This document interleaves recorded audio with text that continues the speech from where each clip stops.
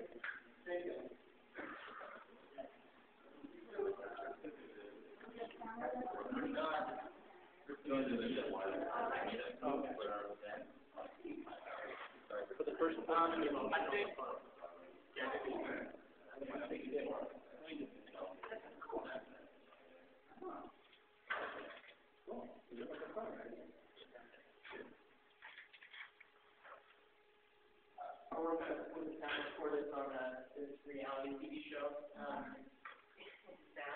And so that anytime it ever goes on the audio, uh, website, I always say as far away from the as possible,